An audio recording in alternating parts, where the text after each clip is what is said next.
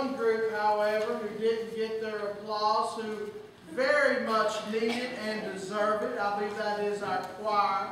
And I know it's going to be hard to clap with the lights on, but I think we can do it.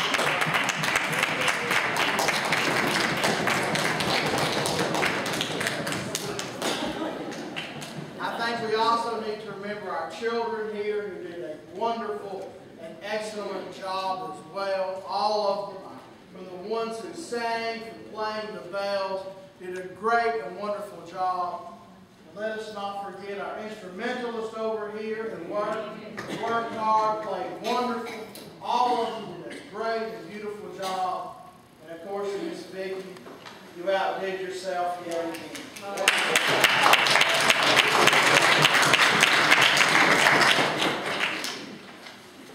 Now this isn't the end of our celebration. We do have a wonderful meal prepared for everyone.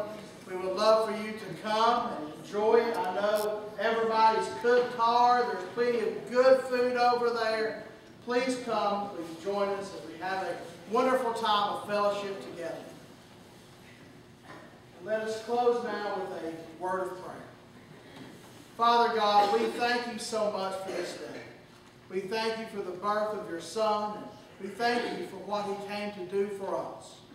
Lord, we thank you that you have been in this place, and we thank you that your Holy Spirit has been here. For we know that you have been through with our choir. They have been with Miss Vicki and the instrumentalists. They have been with our children.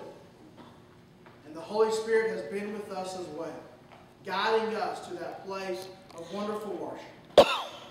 Father God, we pray that the meal that we're about to receive would give us nourishment to our bodies, that give us energy and strength, that we may live out the rest of this day and onward into tomorrow for your glory and your glory alone. Thank you, Father, for being, being with us. Guide us now. Keep us safe as we travel home. This we pray. Amen. Amen.